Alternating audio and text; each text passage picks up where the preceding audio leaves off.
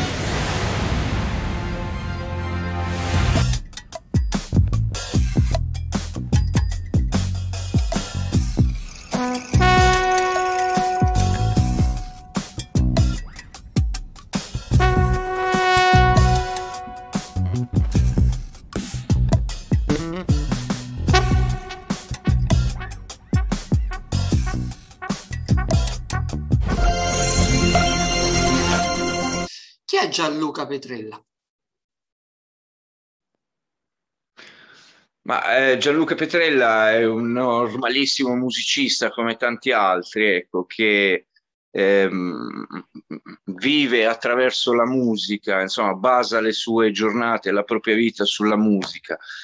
E la musica per Gianluca Petrella non è solo un genere, ma la musica abbraccia tanti generi, tanti luoghi del mondo, sono un grande appassionato anche della musica etnica proveniente da qualsiasi parte della terra, non sono come dire uno fermo o accomodato sul, sul jazz da cui provengo, ecco questo è importante specificarlo, però diciamo che vive eh, di pane e musica, eh, quando nasce l'idea di prendere, proprio fare, usare lo, lo strumento del trombone, perché eh, chiaramente tu sei un trombottista, il, ehm, tra tanti strumenti di ottoni, come mai hai scelto questo strumento che comunque è comunque abbastanza voluminoso esteticamente?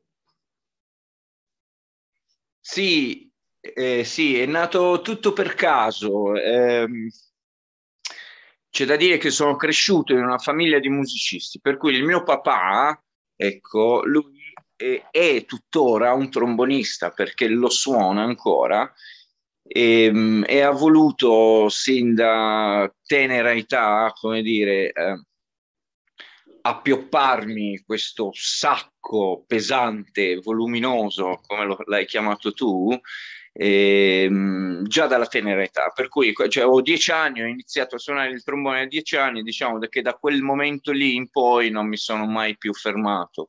Però oltre a quello, oltre al trombone, ho avuto anche la fortuna, sempre tramite il mio papà, di poter approfondire altri discorsi su altri strumenti come i sintetizzatori, come le primissime tastiere, mi ricordo quando ero bambino, le prime tastiere MIDI, così per iniziare a divertirsi con suoni diversi o suoni sintetici che tuttora uso anche nella mia musica, perché la mia musica poi magari ne parleremo dopo. La mia musica è un misto di suoni acustici e suoni provenienti da apparecchiature elettroniche. Ritornando al discorso di prima, insomma, la scelta è stata eh, prevalentemente fatta sulla base degli strumenti che c'erano a casa, ecco, quindi c'era da scegliere qualche strumento. In particolare, ho scelto il trombone. Appunto parliamo della tua musica, perché la musica, la musica è viva, in quel caso quando suoni eh, dal vivo in realtà poi gli dai una vita diversa perché eh, la parte con una canzone ben stabilita, ma poi in realtà durante il, il concerto si evolve in base anche al pubblico che c'hai, alle sensazioni che provi.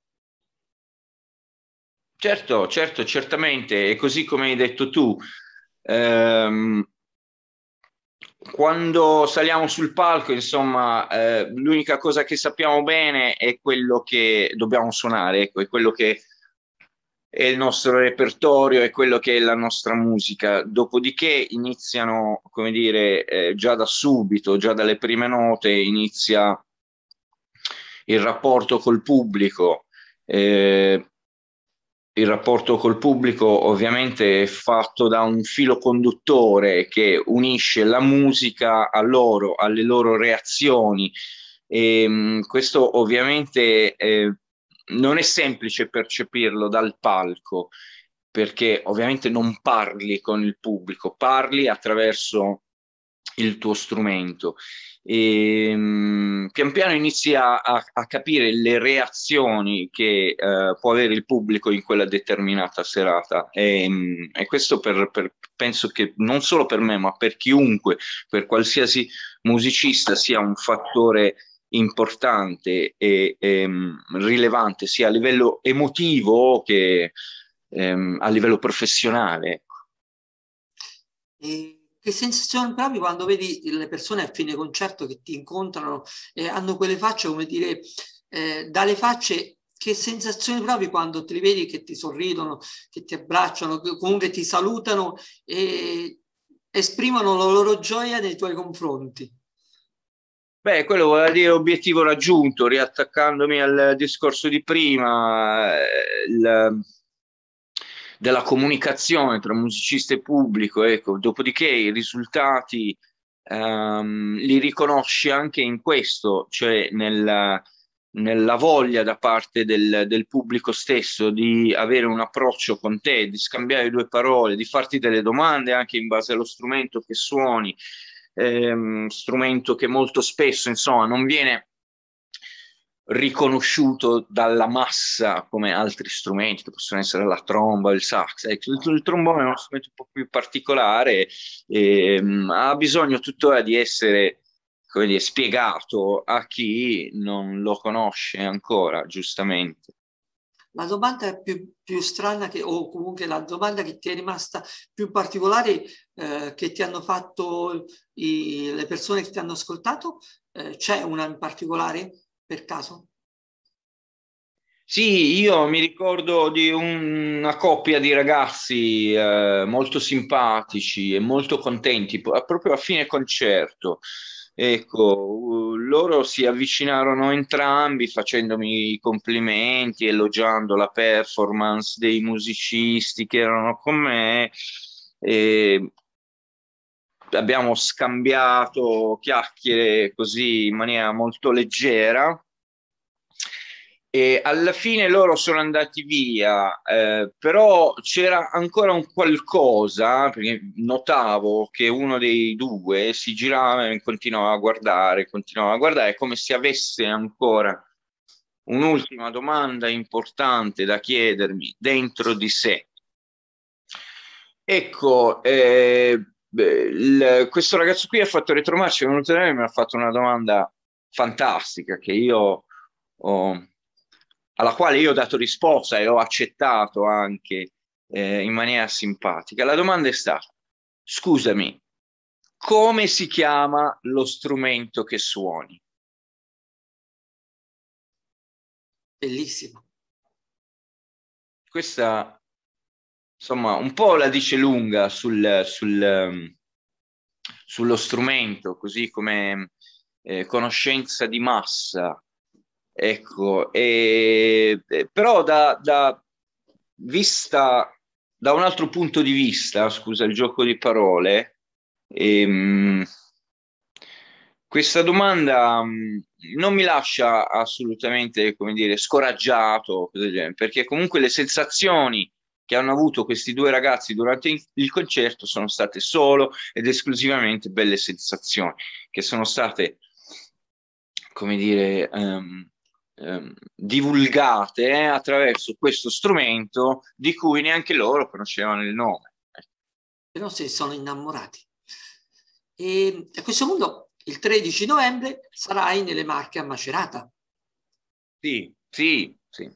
E quindi a questo punto eh, come cosa, eh, come non so, eh, a questo punto ci sarà un momento divertente, bello, fantastico, emozionante, sarà un po' un, eh, anche perché poi la tua musica, abbiamo detto, la tua musica è un po' un mondo tuo, quindi che tu vivi e tu racconti a noi. Sì, eh, guarda, per esperienza posso dirti che tutta la serie di concerti che abbiamo fatto in questi ultimi due anni con la Cosmic Renaissance, ehm, per, per, per, per, così, per esperienze passate in questi due anni, posso dirti che i concerti sono filati lisci, sono, hanno eh, come dire, comunicato eh, tante emozioni al pubblico, ci siamo trovati davanti delle cornici di pubblico fantastiche. Ehm, quest'estate c'era il connubio aria aperta e, e, e, musica come tutte le estati, per cui si visitavano anche luoghi molto belli ehm, città molto belli, paesi molto belli, ecco, in tutto ciò, in tutta questa condizione, eh, in tutta questa dimensione, diciamo che le emozioni ci sono sempre state durante e dopo il concerto.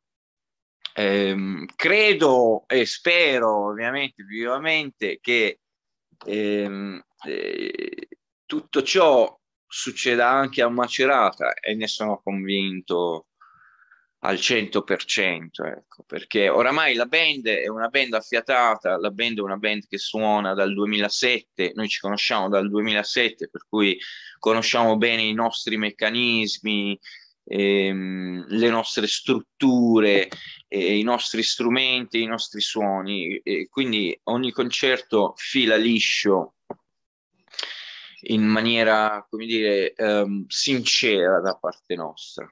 E questo è il nostro obiettivo. Come si chiama la band? Cosmic Renaissance. Ecco, non, lo sapeva, come... non lo sapevamo, come... ma lo sapevamo, ma lo volevamo sentirlo da te. È come un po'? Scusami, ti ho detto... È come un po' come si chiama lo strumento che suoni, sai, dopo un'intervista, quella legata alla storia di prima. È la storia di prima. Guarda, io ti faccio l'ultima domanda perché sicuramente hai da fare. Uh, se, pot- se, potessi salire su, se potessi risalire su un palco o salire su un palco con un accanto o accanto tanti altri strumentisti, quale, quale palco ti piacerebbe risalire che ti ha dato così tante emozioni o pensi che ti possa dare tante emozioni? Ma i palchi che mi hanno dato emozioni praticamente sono quasi tutti, ecco, posso citartene qualcuno in particolare nei, eh, magari qualche palco del mio passato, negli anni di, di, di piena attività con Enrico Rava, ecco, in cui ho girato praticamente tutto il mondo con Enrico e con altre band, anche per i fatti miei e con tante mh, altre situazioni. E, non so, forse ti posso citare i miei primi palchi veri come quelli di Montreal, per esempio, dei, del Festival di Montreal, che è una cornice stupenda per un festival di jazz dove ci sono per strada, almeno c'erano, adesso non so in questo periodo come se la passano, però per strada ehm, bastava passeggiare e ogni 100 metri, 150 metri c'era un palco con un gruppo che suonava, ecco, in uno di quei palchi siamo saliti anche noi. E, ehm, quelle sono state le mie primissime vere emozioni, ecco, ti parlo dei primi anni 90, 93, 94, quel periodo lì, adesso 95, anche quando iniziavo a muovere i primi passi sui palchi, quelli veri. Non c'è um, un concerto, un palco eh, specifico che abbia... Certo, ci sono quelli più belli, ci sono i festival più acclamati nel mondo rispetto ad altri, insomma, dove ehm, la situazione è un po' diversa e l'emozione è un po' diversa, ma per me qualsiasi palco può essere il luogo giusto dove emozionarsi e fare emozionare, non, non, non, non c'è bisogno ecco, di, di, di, di, citare i grandi festival sparsi per la terra, voglio dire anche un piccolo club accanto a casa mia può essere un palco giusto dove emozionarsi. Eh, c'è l'ultima cosa, c'è un, eh, un, un, un artista del tuo, il, che suona il tuo strumento, che tu hai ammirato comunque, che ammiri perché ti ha dato quell'emozione in più, quella sensazione in più? Sì, io ho ammirato e per me è stato un punto di riferimento un trombonista che purtroppo ci ha lasciato qualche eh, anno fa. Um, lui si chiamava Raswell Rudd e, ed era un musicista di New York eh, che io ho sempre apprezzato proprio perché era il contrario di quello che eh, insomma si voleva ottenere sul trombone, e cioè eh, quindi un, su- un suono, un suono mh, mm, una tecnica più, um, più sviluppata a discapito del suono, e cioè andare molto veloci, che era un po', la, è un po' ehm, il fattore pre- predominante dei trombonisti, cioè andare molto veloci tecnicamente con lo strumento, che è una cosa difficilissima, quel trombone, il trombone tecnicamente è uno degli strumenti più difficili da imparare e da adoperare, quindi tecnicamente andare veloce a discapito del suono. Ecco, Russell Rudd era esattamente l'opposto, e cioè suono bello e vero, il suono vero del trombone, suono che ti avvolgeva, a discapito di qualche nota in meno. E, e, e insomma, è come dicevano tanti grandi maestri, tra cui Thelonious Monk e Miles Davis, le, le note che non suoni sono più importanti delle note che suoni. Questo era un po' il concetto suo. Quindi una nota, ma una nota che può valere 100 note di un altro trombonista che va a 200 all'ora con il proprio strumento. Benissimo, allora noi ci diamo appuntamento il 13 novembre a Macerata vi invitiamo tutti a venire perché è sicuramente un momento bello ed emozionante sarà. Ciao, sono Gianluca Petrella, vi faccio un saluto a voi e allo Studio 7 di Macerata. Ci vediamo presto. Studio 7, in collaborazione con Sport e Piceno Game, presenta l'intervista di Pietro.